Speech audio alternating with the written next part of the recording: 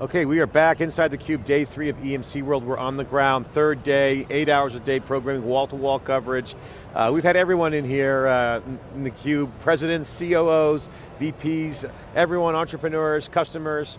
I'm John Furrier siliconangle.com and I'm joined with my co-host, I'm Dave Vellante of Wikibon.org. We're here with a good friend of theCUBE, Howard Elias, who's President and COO of EMC's Global Services Division. Howard, welcome back. Hey, great to be back. Cube Always alumni. a pleasure to be interviewing you. John, we've, we've loved the services angles now. We've, we've covered that up and down for the last you know, year or so, and uh, I've, I've said it's EMC's secret weapon. So, well, we uh, appreciate that. We, uh, we certainly uh, have a lot to offer to help our customers consume all this great technology. Yeah, so this uh, event is tremendous. You've been to a few EMC worlds. and uh, I tell you, it is, we were just saying, it's exhausting but exhilarating. you know, uh, day, day three, actually day four, because we had our partner conference on yeah. Sunday, uh, which is the first time we brought together uh, a couple of thousand of our partners as a sort of a pre-kickoff to EMC World.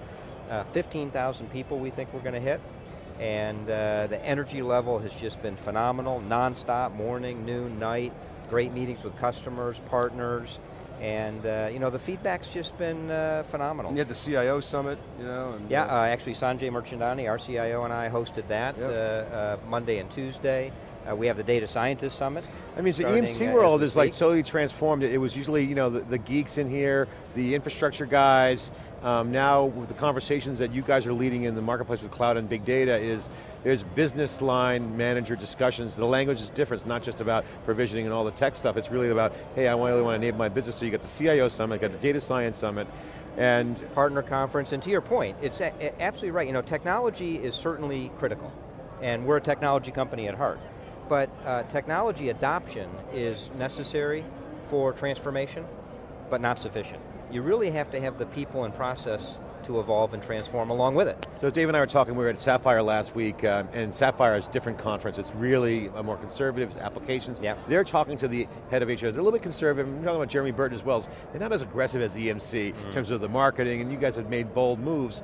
But EMC is now in that elite conversation, in the business conversation. Mm. In, in the C-suite, yeah. Can you share with us kind of what's happened over the past year and a half? Because you guys have made considerable strides, especially with the, with the hype of cloud and the reality of cloud and big data.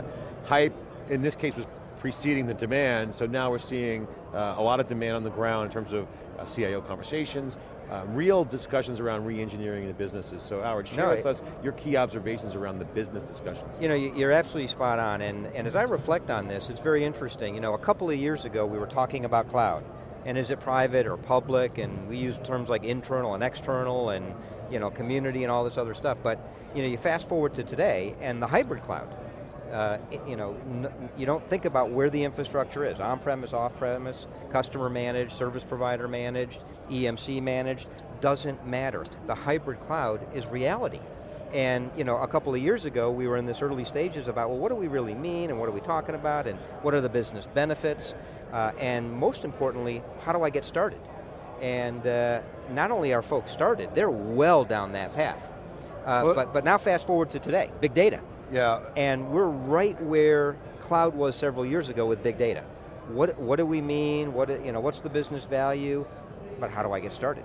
I'm going to share some data with you, How We just did an IT transformation survey in the Wikibon community. Last year, literally a year ago, 9% of the people said hybrid cloud was their primary strategy. Today that number is 37%. There you go.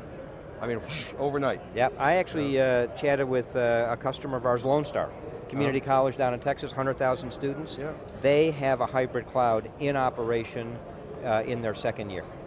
You know, I want to ask your perspectives. Um, you've seen the wave. Joe talked about the technology waves. Now, he always talks about the technology waves, but he did a little differently this year. He really went deep. It was kind of he an did. interesting history lesson, but um, but he, it's more than history. Um, I think it's a deep-rooted part of your strategy uh, when you guys look at the waves. Now, here's the observation I want to make and get your feedback and Joe has said this, every new wave brings new winners and, and losers. And losers. But it seems to me that the CEOs of today's companies are highly cognizant of what went on in the previous waves, and they're a lot smarter, they're a lot less complacent, um, they've got more money, uh, they use it you know, aggressively. The moves in the chessboard are very interesting. What do you make of the state of enterprise IT and how it's changed over the last several years, particularly from a competitive standpoint. I think your observation is spot on, by the way, because we actually have that conversation internally and with many of our customers. We've all seen this movie. We've read the book. Mm. We know the outcome. And so we're not going to make the same mistakes of the past. Now, will we make new mistakes? Sure, I don't know what they are yet. You know, as an industry, as a company, as customers, but you know, we know that we can't just sit still. And we have to essentially embrace, uh, learn, be agile, be flexible, and one of the key things is, let's just grab a hold of it and try it. And it's almost like agile software development right now, right? Let's get into a scrum, let's go try it, let's put it out there, experiment with it. If it works, let's improve it. If it doesn't, stop it, change it, do something else. Mm. Now, you can't be that cavalier about mission critical infrastructure, but you know, you can find new ways to embrace and adopt technologies and try them out and just be more adventurous. Howard, I got to ask you because um, we've been, it's our third CUBE here. We did it originally three years ago in Boston, it was our first ever CUBE at EMC World. You were on then. Absolutely. Um, and it's been fun to watch the transformation, but you guys have executed. So Dave and I were just talking earlier this morning around how the consultant side of the business and how the service side of the business, on the services I'm talking about with customers, has changed about the business conversation. But the, the marketplace has changed at the same time you guys were executing. Can you share with us your management style in terms of how you led the troops in this turnaround or I was say pivot, but like as you rolled out and, and lead in the organization, you're going after a whole new set of customers, a lot of growth involved, and this bridge to the private cloud, which became the hybrid cloud, now big data, is where you're being successful right now in the field. How did you do it? What was your secret to success? Well, I, I, uh, I you know, hate to uh, admit it's you know